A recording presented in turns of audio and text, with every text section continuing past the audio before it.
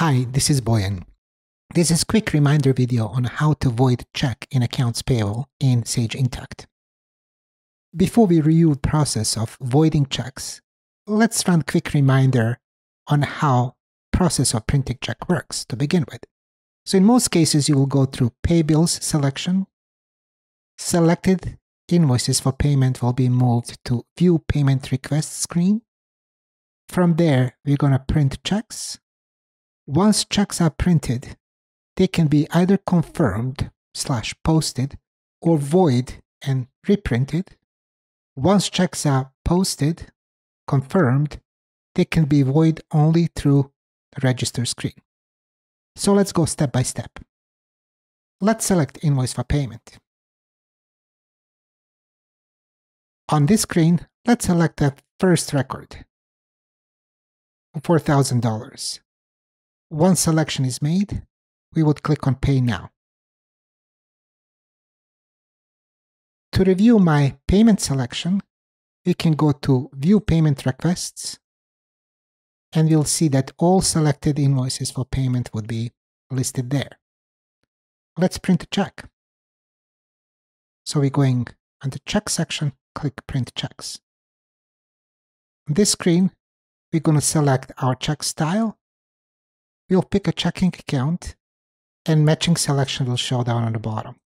So let's select this record, $4,000 invoice. We'll click on print. New pop-up screen will open. This is where you're going to print your checks from. Once your checks are printed, you have option to either confirm or void. Voiding check in this case would happen if your paper jam happen on your printer. Check come out wrong. You run out of ink. So voiding check will put a status back on a unprinted and you would be able to reprint your check. Once you confirm, the check will be posted in your system. Now let's go through the process of voiding that confirmed check. Let's go to accounts payable, registers, check. On the next screen, you can apply different filters to narrow down your selection. So let's pick current to date as of today and click on view. Your register screen will display in blue letters all records that can be void. Everything else that you see here was either void before or the result of uh, adjustment. So there's our check on the top, $4,000. Click on void.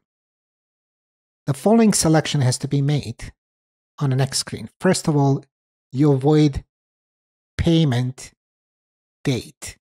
So ideally, if you're operating within one period, one fiscal period, your void date would be same as your check date. If you're crossing it in different months, you have option to void your payments in a future dates.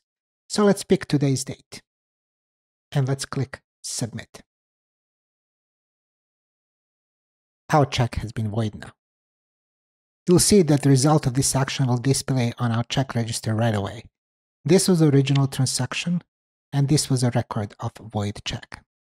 And with that, your process of voiding AP check is complete. Thank you for watching.